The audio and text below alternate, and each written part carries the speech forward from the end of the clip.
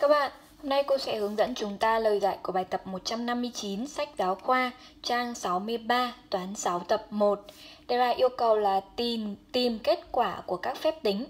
Đây là các phép tính cộng trừ nhân chia bình thường và chúng ta sẽ đi thực hiện từng phép tính. Đổi ý A nhỏ. N trừ N thì số nào trừ đi chính nó thì cũng sẽ bằng bằng không, đúng không ạ? Vậy ở đây cho chúng ta kết quả là bằng bằng không này. Ý B.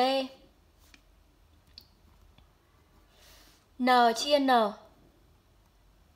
Trong đó N khác không, thì số nào chia cho chính nó cũng bằng bằng một, đúng không ạ?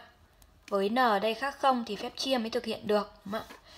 Rồi ý C là N cộng không thì đây là tính chất của của phép cộng rồi. Số nào cộng với không thì cũng sẽ bằng bằng chính nó.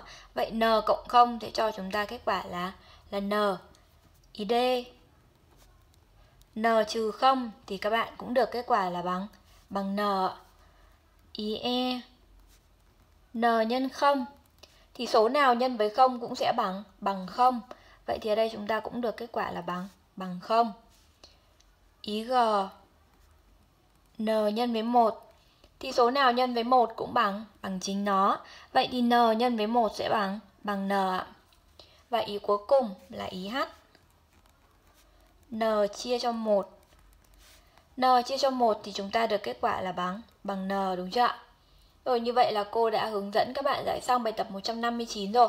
Cảm ơn các bạn.